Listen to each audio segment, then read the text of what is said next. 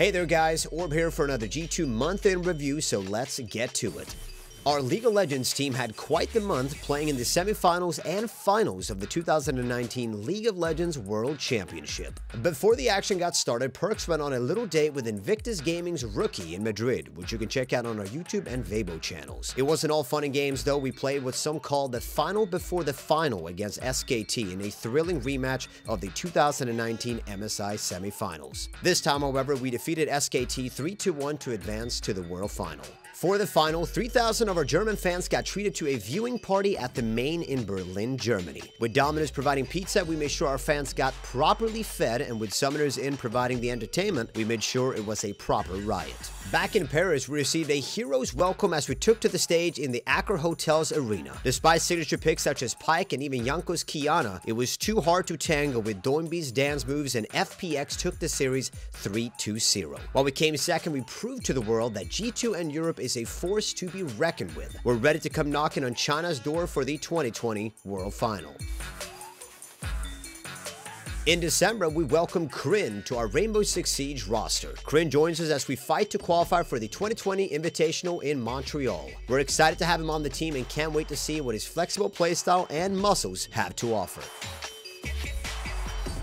After a difficult 8th season in the RLCS, our boys had to fight for their spot in Season 9. This proved to be a piece of cake as the boys smashed through both Charlotte Phoenix and regional rival Cloud9 to earn back their spot among the top. In November, we qualified for the finals of the ESL 1 Pro League after defeating North and Big in the second round of groups. Then they flew over to China for the CSGO Asia Championships. Though exiting from the tournament early, we were thrilled to have a chance to meet and greet our Chinese fans thanks to our partner AOC. We can't wait to visit again soon. We are also thrilled to announce the return of Making the Squad, a G2 talent show. This year, we rode the carousel and we brought in TFT contestants from all around the globe to prove that they have what it takes to win the $10,000 prize. With Ovilee May hosting and a host of other guest appearances, you won't want to miss this. Check out the description to watch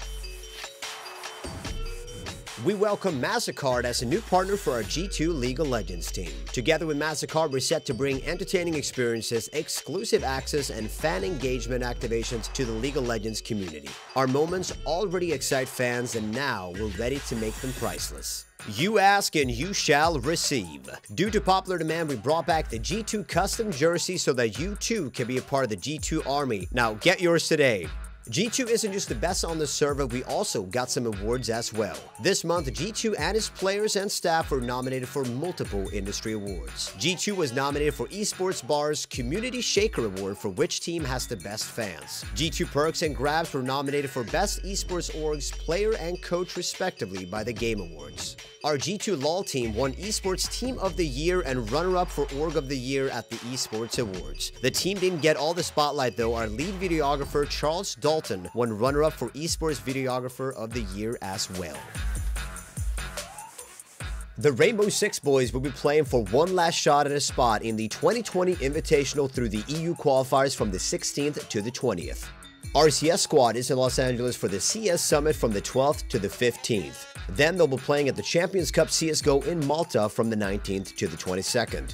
Our Apex squad will take another crack at the GLL from the 14th to the 15th, so please go show them your support.